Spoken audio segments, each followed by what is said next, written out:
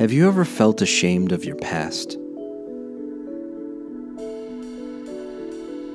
Why?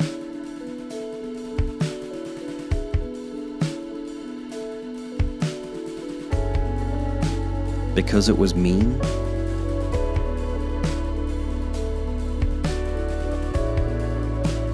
Because it was selfish?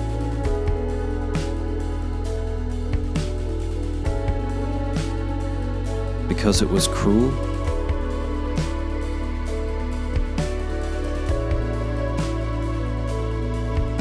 Because it was harsh?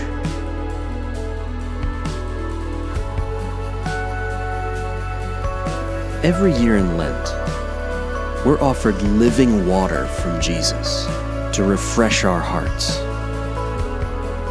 to refresh our spirits, to refresh our church, to refresh our world.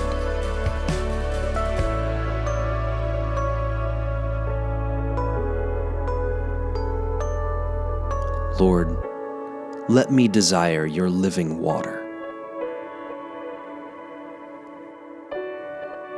And let your mercy pour on us.